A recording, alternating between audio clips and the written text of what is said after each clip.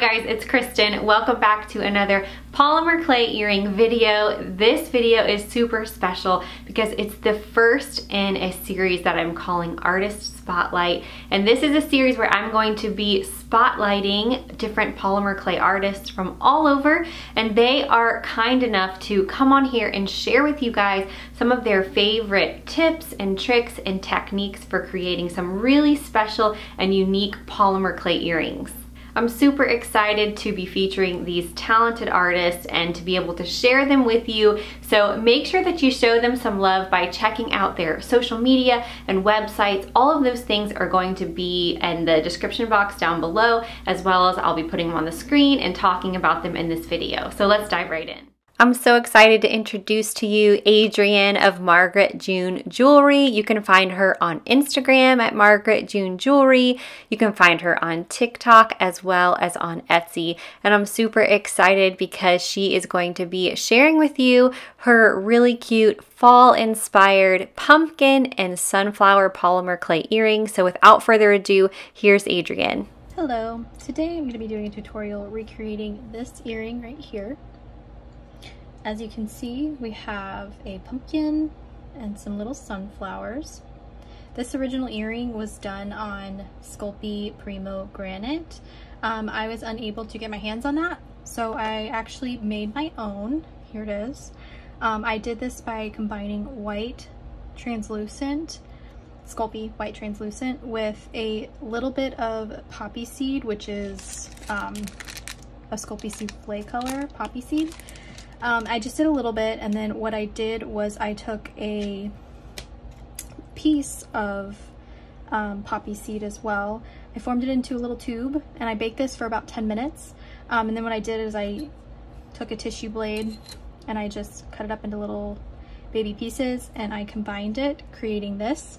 It is not an exact replica of granite. Um, I think it'll end up working really well though. Um, if I had had some black and dark gold glitter, I probably would have added that, but um, it'll work for today's purposes. I already pre-cut some of my earring shapes over here. Um, and I'm going to quickly review the colors you're going to need. So of course you're going to need either actual granite or some DIY granite. Um, you're going to need some brown. So I'm using Burnt Umber by Sculpey Primo. Um, this is a custom green that I just mixed from Sculpey Primo Forest Green and Sculpey Souffle Poppy Seed. This is um, Sculpey, Sculpey Souffle Cinnamon. This is a mixed yellow that I did. I believe this is latte and maybe cinnamon. I don't remember exactly, but it's just a dark, darker mustard yellow. I'm not sure how it's coming up on camera. Um, and then also finally, Yellow Ochre by Sculpey Souffle. So those are the colors we're going to be using today. The tools I'm going to be using are a tissue blade, an X-Acto knife, a needle tool, and an acrylic roller. Also, I will be utilizing a pasta machine, uh, which is off camera and really squeaky, so you won't have to listen to that, hopefully. Um, it, additionally, I'm also going to be using this to um, put in like a, a pre-drilled hole basically. Um, just a little marker so I know where to drill after I bake. Okay, so let's get started. I did forget to mention I'm also going to be using these. Um, this is actually from a set of cutters from Amazon. I do believe Kristen Nobles um, has linked these in her videos previously. So these are great. I'm probably going to be using this one today. This is the largest one that comes in the pack. And then for those interested, this is the cutter I used. Um, I will provide the information on where I got it. I'm going to start with my pumpkin. So all I'm going to do is take the cutter and cut out a couple of circles. How you do this is completely up to you. You can choose to leave them as perfect circles. What I'm going to do is I am going to mush them ever so slightly so they are a little bit longer and like squished so they look a little bit more organic I guess you could say not not quite as perfect um, then what I'm going to do is I'm going to take my needle tool which is which looks like this. And I'm just going to gently add some details to my pumpkins.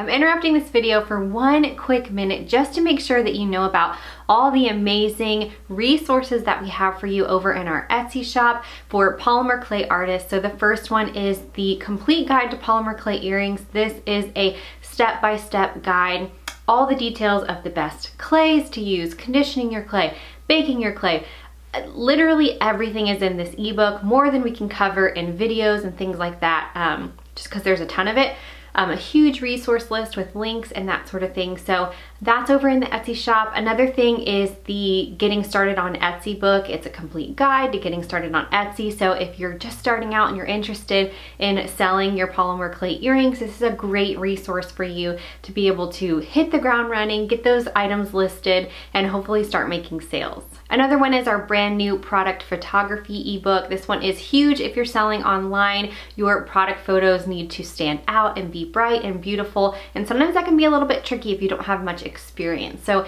this product photography ebook will walk you through the steps of getting fantastic photos with, um, you know, not super expensive equipment and things like that. Just little tricks and things that you can use to get the best photos possible. And lastly, we have polymer clay color recipes.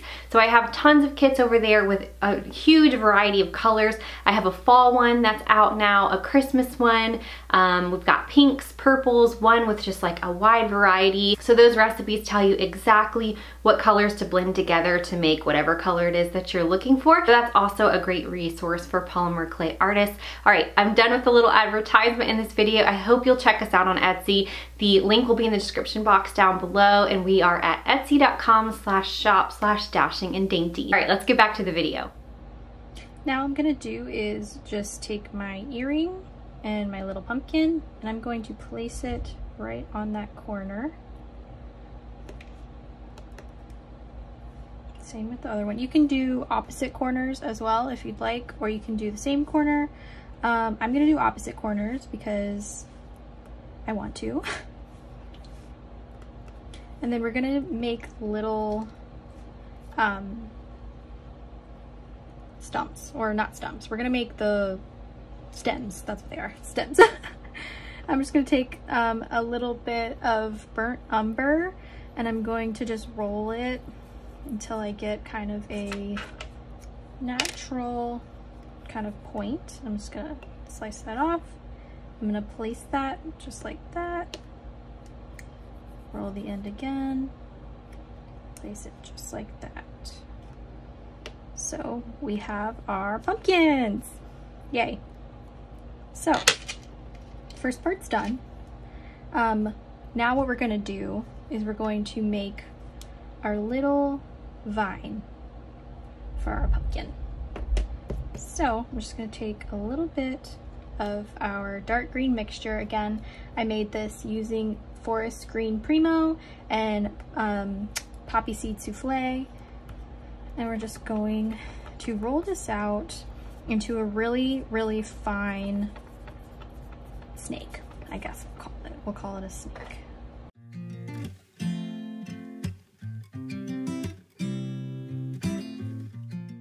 I like to keep cutting it in half and removing the excess when I do this just to keep things organized and easy to roll. Okay. So when it's pretty thin, what we're gonna do is we're gonna cut in half. And this is very, very touchy. It's a very touchy process. So I'm going to kind of start. Hopefully you'll be able to see what I'm doing. So I'm gonna take my little snake and I'm just gonna kind of place it at the edge of my pumpkin stem and I'm going to do some twirls.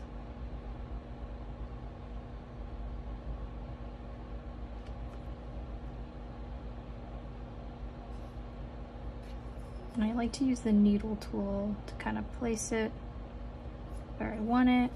You can always kind of maneuver it so it looks the way you want it to look. And I'm happy with that, so I'm gonna press it down gently. Now I'm gonna make another little loop-de-loop -loop twirl thing to kind of put on the pumpkin for continuity. Um, obviously you can do whatever you feel and you can make your pumpkin look however you want your pumpkin to look. So I'm going to trim off another little bit here.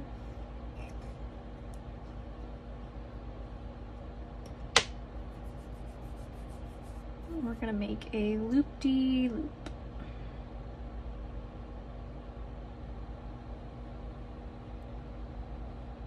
Okay, so I'm not too picky about these things because after all, these are handmade and they're fun and they're creative, so like that's where it wants to go, so we're gonna put it right there. So this is what we are left with. We have a pumpkin and a vine. Halfway there.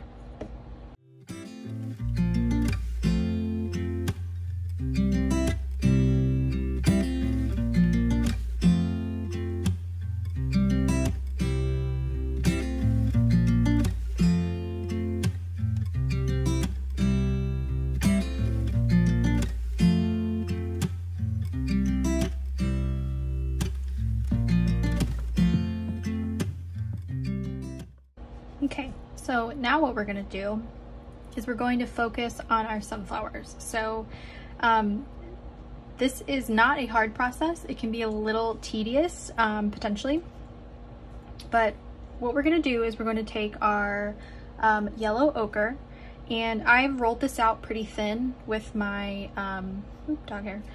I've rolled it out pretty thin with my pasta roller.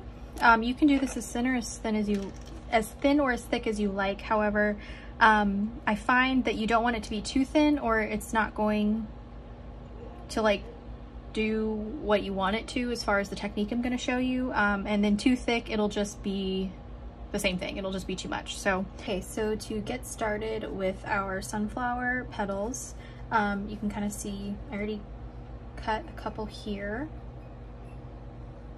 But what we're gonna do is we're just going to take our X-Acto knife and we're just going to literally cut petal shaped petals.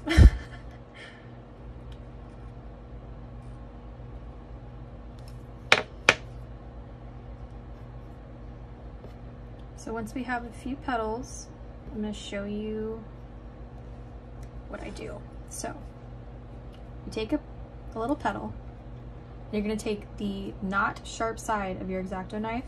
What I'd like to do is I kind of like to press and then use my fingers to make a petal. Then what we're gonna do is we're gonna go ahead and start to layer this over one part of our pumpkin, like this.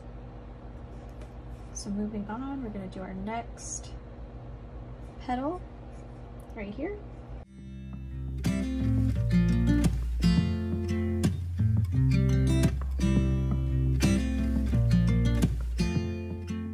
For this one, I'm just gonna keep it at three petals like this um, and then move on to the other flowers I wanna do. Just for reference, we are replicating this one right here. So this flower is going to be a little bit different because I'm not super happy with that one, but we're going to kind of mimic the placement of this earring that we have right here. So I'm going to move on to this flower right here.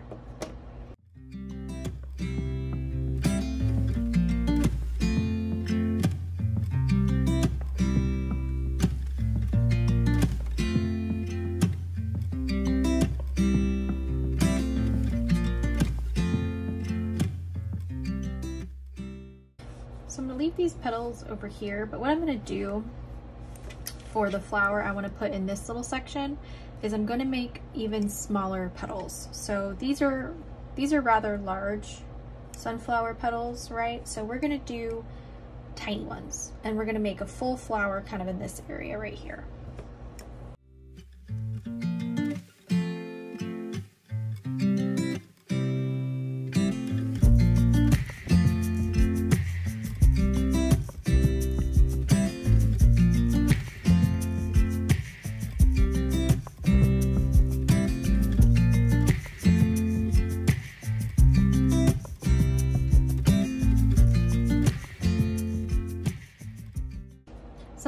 Too is these flowers are pretty forgiving. So as you can see, my, the center of my flower looks pretty wonky, right? So um, a lot of, this is gonna improve greatly um, with our little sunflower centers that we're gonna make. So I'm gonna quickly do this one with my petals and we will continue on with our sunflower centers. What we have so far. what we're gonna do is we're gonna take this piece that we made, that we used earlier for our pumpkin stems, um, and we're just going to kind of roll this out as well. And then I'm just going to cut little chunks off.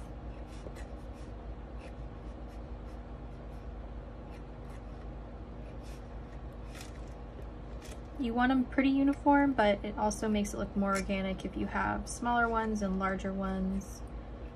Um, so you don't have to be too precise about this.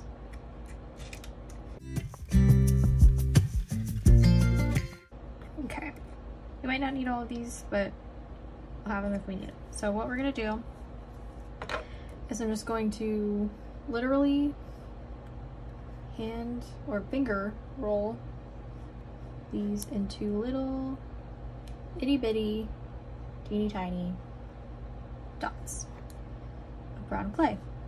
And this is going to be our sunflower centers. Okay, so let's start with that. So you have a couple options here. So in this pair of earrings, you can kind of see close up that I utilized a dotting tool. So something like, something like this to kind of dot, it was smaller than this one, but to kind of dot the centers of the sunflower down, which gives you some texture. So if you're somebody that likes the texture like this, definitely do that.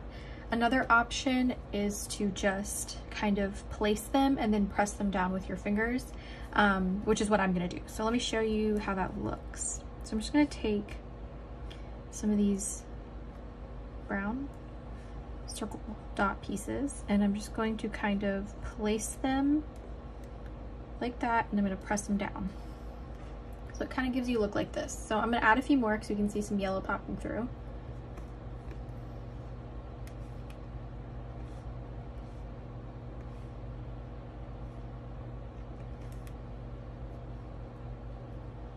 So we can see this is the result right here.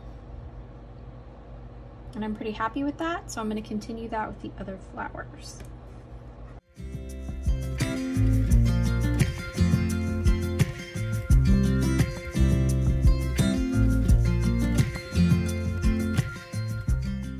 So here is what we are left with.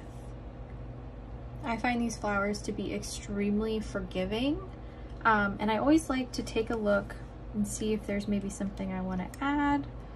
You know, it's always important to review everything you're doing, you know, and tweak it as you go until you're perfectly happy with it. So I am happy with my flowers.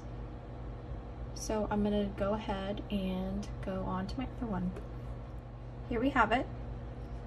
We have our completed flowers with our pumpkin and our vine um, just to clarify as well, originally my plan was to use this pretty mustard yellow for this small flower here, but it got a little bit carried away with our yellow ochre. So that's optional. I think that would have added a lot of really nice dimension, um, but I still have that one over there, so maybe I'll still do it. but yeah, so that was my intention, but I did not end up using that color, but it would be a beautiful color to use if you chose to. Um, another thing that is optional um, as you can see, this granite doesn't show up as like obviously in the background as this one does. Sorry, there we go. Um, so an option, because it doesn't look as like busy, is you could always add um, something to the stud part. And what I mean by that is you could very easily, especially because we have all of our leftover circles right here, you could cut just a few more yellow petals. If I had utilized this color, I think it would be really nice to do what I'm doing on the stud to match what would have been in this corner had I followed my original plan. So that's a really great way to add another, um, like tie in that color again if you did use that mustard yellow, which I highly recommend. I think that would be very pretty. Um, what I'm gonna do is I'm gonna take three more um, petals like this. I'm gonna kind of take my stud, I'm gonna use it this way. So I'm gonna flip it and I'm going to kind of take these like this.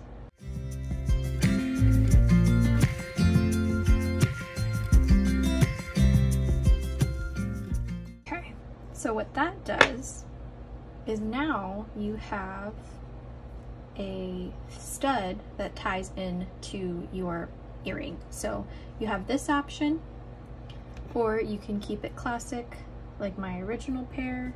There we go and you have both of these options which are really beautiful so if you want something a little bit more cohesive um, you could go for this one right here right here um, or if you just like something closer to this obviously you would go with a simple stud um, both are great options both are beautiful um, I'll probably obviously end up adding some petals to this one to tie it all together.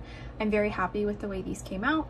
I hope this tutorial was really easy to follow and I hope um, everyone's able to create their beautiful pumpkin and sunflower earrings as well. Thanks.